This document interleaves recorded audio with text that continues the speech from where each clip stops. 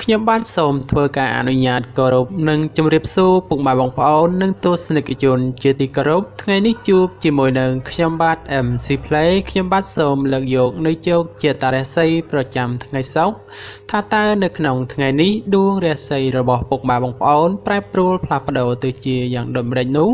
ដើម្បីកុំឲ្យខាតពេលវេលាយូរនោះសូមអញ្ជើញរីករាយសន្តាប់ជាមួយនឹងខ្ញុំបាទដូចតទៅ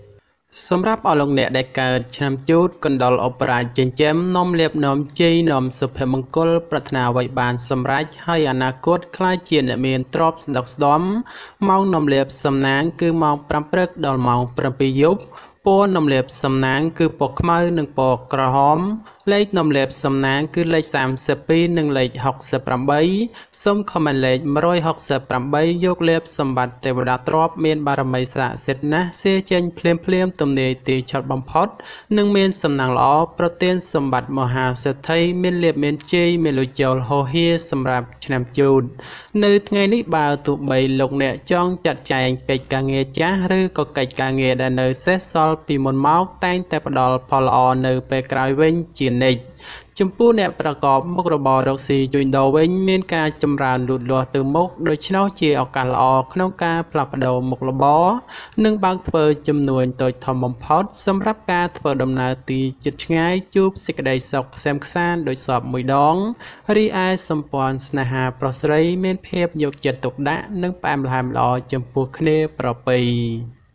សម្រាប់អស់លោកអ្នកដែលកើតឆ្នាំឆ្លូវកូននាំលៀបនាំជ័យនាំសុភមង្គល ប្រាថ្នាអ្វីបានសម្រេចហើយអនាគតខ្លាចជាអ្នកមានទ្រព្យស្ដុកស្ដំ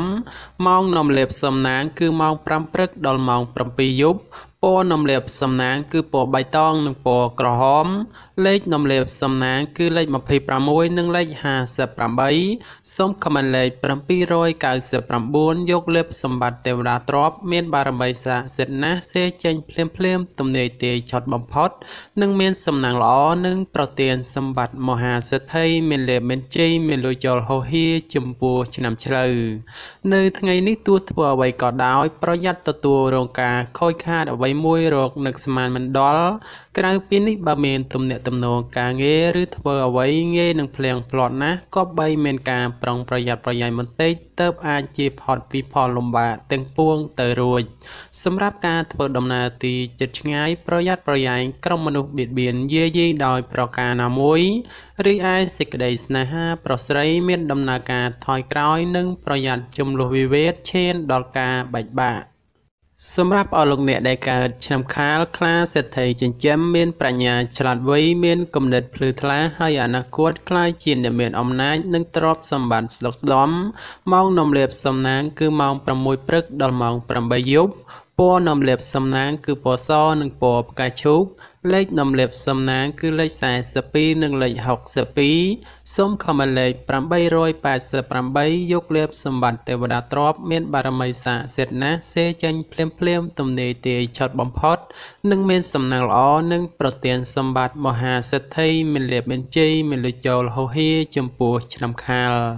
ក្នុងថ្ងៃនេះជោគជាតារាសីរបស់អស់លោកអ្នកល្អប្រសើរបើធ្វើអ្វីក៏ដោយតែងតែមានការរីកចម្រើនលូតលាស់ទៅមុខនិងមានជោគមានជ័យល្អប្រសើរសម្រាប់អ្នកប្រកបមុខរបររកស៊ីជួញដូរមានការប្រជែងគ្នាច្រើននិងជាពិសេសមានការប្រទឹងប្រទើសជាមួយអ្នកមានមុខរបរដូចគ្នា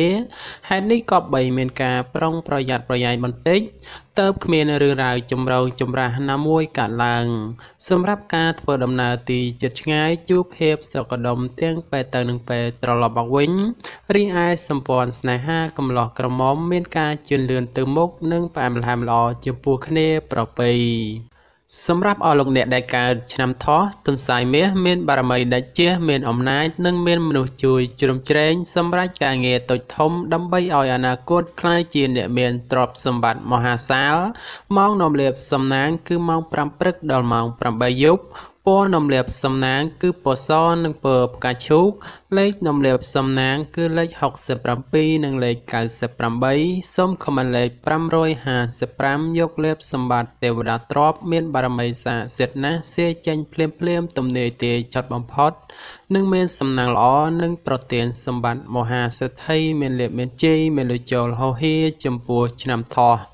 នៅថ្ងៃនេះការប្រកបការងារមានការជឿនលឿនច្រើន ផ្នែកក្នុងនេះមិនថាជារឿងការងារប្រកាសឬក៏រឿងផ្ទាល់ខ្លួននោះឡើយសម្រាប់អ្នកប្រកបមុខរបររកស៊ីជួញដូរវិញមានភាពរលូនល្អទៅមុខនិងការរកប្រាក់កម្រៃទៀតសោតក៏គ្រាន់បើជាងមុនផង សម្រាប់ការធ្វើដំណើរទីជិតឆ្ងាយមានភាពសុខដុមទាំងពេលទៅនិងពេលត្រឡប់មកវិញរីឯបញ្ហាសម្ព័ន្ធស្នេហាកំឡោះក្រមុំឬមេម៉ាយពោះម៉ាយក្តីជួបរឿងយល់ខុសនិងមានភាពប្រចែប្រច័ណ្ឌកំពុងចូលលុកលួយច្រើនដូចនេះត្រូវកាត់បន្ថយការបង្កចំនួនវិវាទចេញពីខ្លួនខ្លះទៅប្រសើរសម្រាប់អស់លោកអ្នកដែលកើតឆ្នាំរងពោះអ្នកក្រេតមន្ត្រីចិញ្ចឹមធ្វើកិច្ចការងារអ្វីមួយអ្នកតែងតែមានគំនិតជ្រះថ្លាប្រាថ្នាអ្វីបានសម្រេចធ្វើការតូចធំតែងតែមានអ្នកគ្រប់គ្រងទំនុកបំរុងសពគ្រប់បែបយ៉ាងម៉ោងនំលាបសំណាងគឺម៉ោង6ព្រឹកដល់ម៉ោង9យប់ ពណ៌នំលាបសំណាង គឺពណ៌បៃតងនិងពណ៌ក្រហម លេខនំលាបសំណាង គឺលេខ62និងលេខ84សូមខមមិនលេខ888យកលាបសម្បត្តិអុកញ៉ាមានបារមីស័ក្តិសិទ្ធិណាស់សេចេញភ្លាមភ្លាមទំនេរទេឆុតបំផុតនិងមានសំណាងល្អនិងប្រទានសម្បត្តិមហាសទ្ធិមានលៀបមានជ័យមានលុចូលហោហៀចំពោះឆ្នាំរង នៅថ្ងៃនេះដំណើរជីវិតរបស់អស់លោកអ្នកល្អប្រសើរប៉ុន្តែយ៉ាងណាសម្រាប់ស្ត្រីនៅមានគ្រោះយាយីនៅឡើយដូចនេះទោះធ្វើអ្វីតែងតែមិនភ្លឺថ្លាដោយកប់បំណងប៉ុន្មាននោះទេ សម្រាប់អ្នកប្រកបមុខរបររកស៊ីជួញដូរក្នុងថ្ងៃនេះដែរបើចង់បោះទុនតូចធំមិនមានអ្វីតោះខុសទេព្រោះថាផលជាផ្លែផ្កាដែលទទួលបានមកវិញក៏សំដូចប្រកបមួយចំនួនផងដែរសម្រាប់ការធ្វើដំណើរទីជិតឆ្ងាយជួបសេចក្តីសុខខ្សែមខ្សានដោយសពមួយដង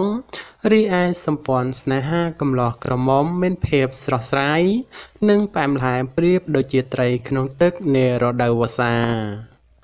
សម្រាប់អស់លោកអ្នកដែលកើតឆ្នាំម្សាញ់ពោះទេវតាចិញ្ចឹមមានលៀបមានជ័យមានមនុស្សជាច្រើននាំគ្នាស្រឡាញ់រាប់អានសាទរម៉ោងនាំលៀបសំណាងគឺម៉ោង5ព្រឹកដល់ម៉ោង7យប់ពណ៌នំលេបសំណាងគឺពណ៌បៃតងនិងពណ៌សលេខនំលេបសំណាងគឺលេខ53និងលេខ61សូមខមមិនលេខ168យកលេបអភិជនលុយរយលានមានបារមីស័ក្តិសិទ្ធិណាស់សេចេញភ្លាមភ្លាមទំនេរទាឆត់បំផុត និងប្រទានសម្បត្តិមហាសិទ្ធិមានលៀបមានជ័យមានលុយចូលហោហៀចំពោះឆ្នាំអសាញ់នៅថ្ងៃនេះដោយសារដួងរាសីឡើងខ្ពស់ដូចនេះផ្ដល់ផលល្អសម្រាប់ស្ត្រីក្នុងការចាត់ចែងកិច្ចការងារអ្វីមួយ ពីព្រោះថាផលជាផ្លែផ្កាតែងតែហុចមកវិញជានិច្ច សម្រាប់ថ្ងៃនេះដែរដោយសារឡើងខ្ពស់ដូចនេះអ្នកប្រកបមុខរបររកស៊ីជួញដូរវិញមានការចម្រើនលូតលាស់និងមានជោគមានជ័យល្អប្រសើរ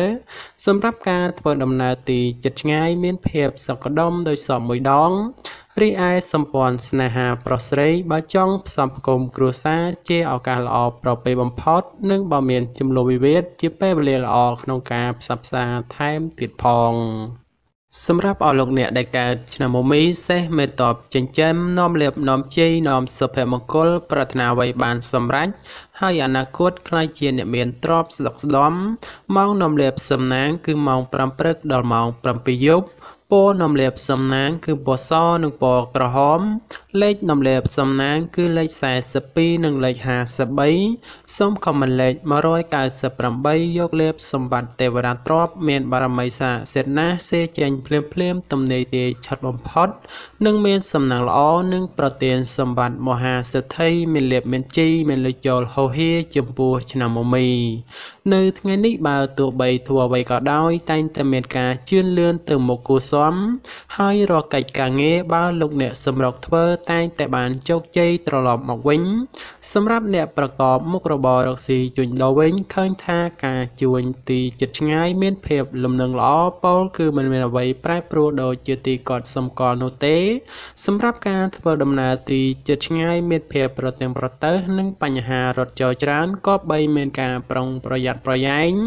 រីឯសេចក្តីស្នេហាប្រុសស្រីព្រោះតែពេលនេះមានរឿងរ៉ាវចូលមកកកផ្លូវចិត្តធ្វើឲ្យកើតរឿងប្រទាំងប្រទើសគ្នាច្រើនសម្រាប់អស់លោកអ្នកដែលកើតឆ្នាំមមេពពែមាសមានបារមីដាច់ជះឈ្នះអស់មាសត្រូវប្រាថ្នាអ្វីបានសម្រេចនឹងអនាគតខ្លាយជាសិទ្ធិឬកេហបតីជាន់ខ្ពស់ម៉ោងនាំលេបសំណាងគឺម៉ោង5ព្រឹកដល់ម៉ោង7យប់ពណ៌នាំលាភសំណាងគឺពណ៌ខ្មៅនិងពណ៌ស លេខនាំលាភសំណាង គឺលេខ23និងលេខ24សូមខមមិនលេខ222យកលាភសម្បត្តិអ្នកមានជាន់ខ្ពស់មានបារមីសាសិទ្ធណាស់សៀចេញភ្លាមភ្លាមទំនេរទេឆត់បំផុត និងមានសំណាងល្អប្រទានសម្បត្តិមហាសិទ្ធិមានលាភមានជ័យមានលុយចូលហោហៀចំពោះឆ្នាំមមេនៅថ្ងៃនេះលោកអ្នកធ្វើអ្វីក៏ដោយតែងតែមានការប្រយ័ត្នប្រយែងនិងយកចិត្តត្រជាក់ដាក់ខ្លួនឲ្យបានកម្រិតខ្ពស់ទើបមិនមានបញ្ហាចត់ឡើង សម្រាប់អ្នកប្រកបមុខរបររកស៊ីជួញដូរមិនត្រូវបោះទុនអ្វីមួយដោយតក់ក្រហល់ឡើយបើពុំនោះនឹងជួបរឿងសោយអស់ប្រាក់កាក់ពីខ្លួនហើយត្រូវមកដេកសោកស្ដាយពុំខាន សម្រាប់ការធ្វើដំណើរទៅទិសឦសានឲ្យប្រយ័ត្នប្រយែងបញ្ហាក្រក់ចូលមកយាយីបន្តិចរីឯសម្ព័ន្ធស្នេហាកំឡោះក្រមុំមានដំណើរការប្រែប្រួលផ្លាស់ប្ដូរពីព្រោះងាយទាំងផ្អែមល្ហែមហើយក៏ងាយនឹងទាស់ទែងគ្នាដែរ សម្រាប់អស់លោកអ្នកដែលកើតឆ្នាំវោកស្វាមន្ត្រីចិញ្ចឹមនាំលៀបនាំជ័យនាំសុភមង្គល ប្រាថ្នាអ្វីបានសម្រេចហើយអនាគតខ្លាយជាអ្នកមានទ្រព្យស្ដុកស្ដំម៉ោងនាំលៀបសំណាង គឺម៉ោង4ព្រឹកដល់ម៉ោង7យប់ពណ៌នាំលៀបសំណាង គឺពណ៌ក្រហមនិងពណ៌សលេខនំលាភសំណាង គឺលេខ22និងលេខ85 សូមខមមិនលេខ888យកលេខសម្បត្តិមហាសំពៅលួងមានបារមីស័ក្តិសិទ្ធិណាស់សេចេញភ្លាមភ្លាមទំនេរទីឆត់បំផុត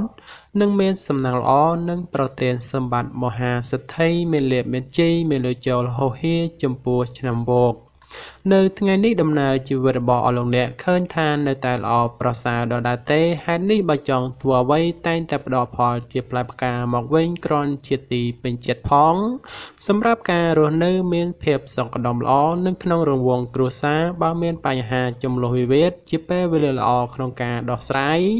សម្រាប់អ្នកប្រកបមុខរបររកស៊ីជួញដូរនៅថ្ងៃនេះវិញបើលោកអ្នកចង់បើកហាងថ្មី ឬចេញប្រកបចំនួនអ្វីមួយជាឱកាសល្អប្រពៃបំផុត